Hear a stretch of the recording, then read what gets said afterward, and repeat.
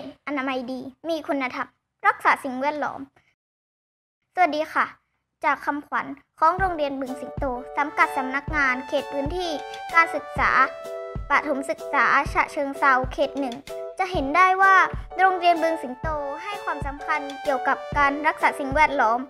โดยเฉพาะการจัดการกับปัญหาขยะในโรงเรียนและชุมชน ก่อนหน้านี้โรงเรียนบึงสิงโต ประสบปัญหาขยะ ทั้งขยะเปียกและขยะแห้งในแต่ละวันเป็นจำนวนมาก ทางโรงเรียนจึงได้ขับเคลื่อนโครงการโรงเรียนปลอดขยะ โดยใช้หลัก 3R คือ reduce reuse และ recycle reduce ก็คือการลดการใช้ การบริโภคทรัพยากรที่ไม่จำเป็นลง ลดการก่อให้เกิดขยะ โดยเฉพาะขยะที่ย่อยสลายได้ยาก reuse คือการใช้ซ้ำ การใช้ทรัพยากรให้คุ้มค่าที่สุด โดยนำสิ่งของเครื่องใช้กลับมาใช้อีกครั้งหนึ่ง หรือนำไปประดิษฐ์เป็นเครื่องใช้ต่างๆ ตลอดจนซ่อมแซมเครื่องใช้ recycle ก็คือการนำสิ่งที่ใช้ประโยชน์ในรูปแบบเดิมไม่ได้อีกแล้วมาผ่านกระบวนการแปรรูปเพื่อนำกลับมาใช้ใหม่อีกครั้ง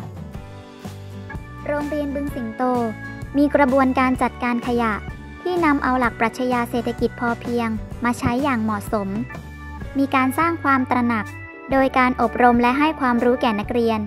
เกี่ยวกับปัญหาสิ่งแวดล้อม และการแยกขยะที่ถูกวิธี มีกระบวนการสร้างจิตนิสัย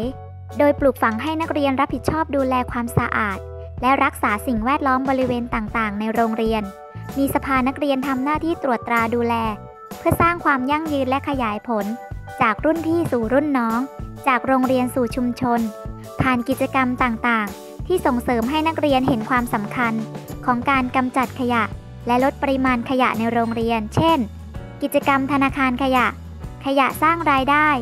ขยะแลกของขวัญ การประดิษฐ์สิ่งของและสื่อการเรียนรู้จากขยะ และเศษวัสดุ กิจกรรมรักการออม การปลูกผักปลอดสารพิษ